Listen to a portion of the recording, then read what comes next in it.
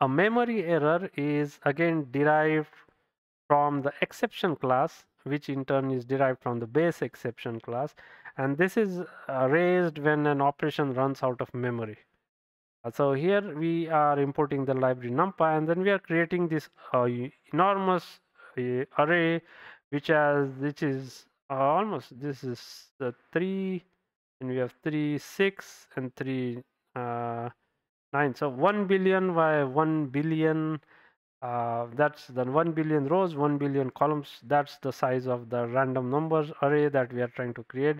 And that uh, causes the system uh, to run out of memory and we get a memory error as we can unable to allocate 6.94 EI bytes for an array with shape uh, 10 billion uh, 1 billion by 1 billion. So there are nine zeros there.